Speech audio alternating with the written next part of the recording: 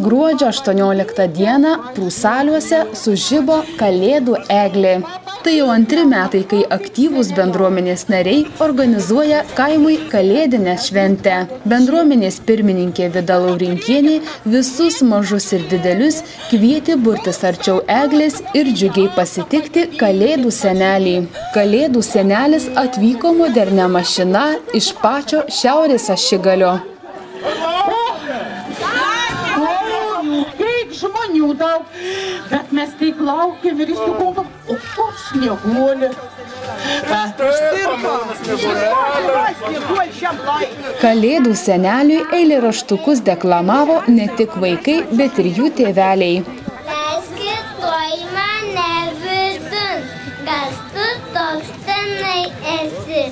Jį pažįstat jūs visi, ar su prūsai su varda. Kalėdas, kalėdas jau eina pas mus, jo rankų prigužė laukus ir namus.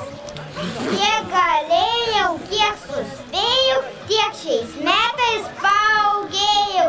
Surimtėjai, sako tėtė, o tėčiu gali tikėti, o jei gaučiau dovanų, tai iš viso bus šaunu.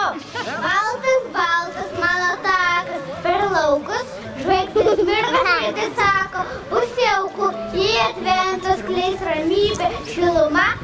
malda paglusti sielą, kaip mama, jeigu gėris draugo rangus, šildys mus, jeigu gėris sėklą nešim į namus, jei atjausim kitus skausmą gerumu, jei adventą, laiką leisim, laukimu, kad užgimtų kūdikėlį žaibulė, kaip gerumo kaip vištėlė danguje. Čiuku, čiuku, čiuku, čiuku, atvažiuoja prie žalios, traukinukas tuoj sustos. Traukinėlį lėk zuikučiai, vyrų, vyrų ir meškučiai.